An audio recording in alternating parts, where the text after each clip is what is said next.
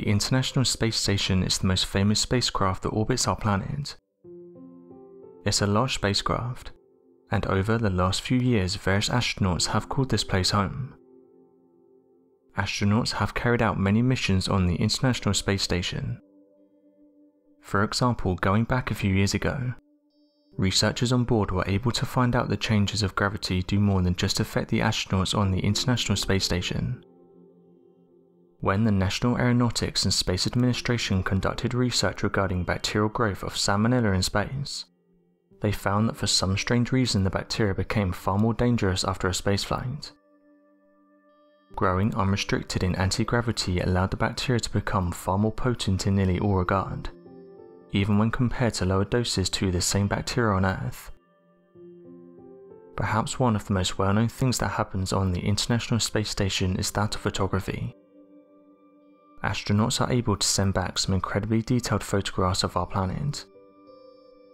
What's great about the International Space Station is that it also has cameras attached to it.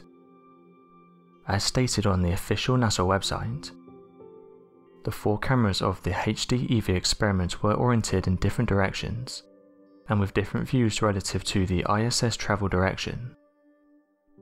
They were positioned as one looking forward, one looking nearly straight down and two looking back. This provided several different viewing angles to the viewer. The cameras were programmed to cycle from one camera to the next, and only one camera could work at a time. As they cycled, each camera had to turn off and the next camera turn on before the HD video started, taking around 8 to 10 seconds to change. However, while these cameras have been running, people have noticed some strange things. One such anomaly was found while an astronaut was outside the ISS. The person who spotted the object said the following. While I was watching a live stream on Facebook, I noticed something fly past the International Space Station. Whatever it was moved quick, but I was able to stop the video at the part when the object flew past. One of the reasons I was able to spot it is because of how dark it was. It was black and slender, I'm interested to hear what people think about it. Interestingly, the object the person is detailing has been described as some as a cigar-shaped UFO. These cigar-shaped crafts or cylinder UFOs as they're also known are one of the most common UFOs witnessed by people across the planet. Those who've seen these crafts have said they're usually dark in colour, being able to hover in the sky and make a quiet exit without being heard. As with most UFOs, various theories have been put forward to try and explain what they are, but as of right now, no one can offer a plausible explanation.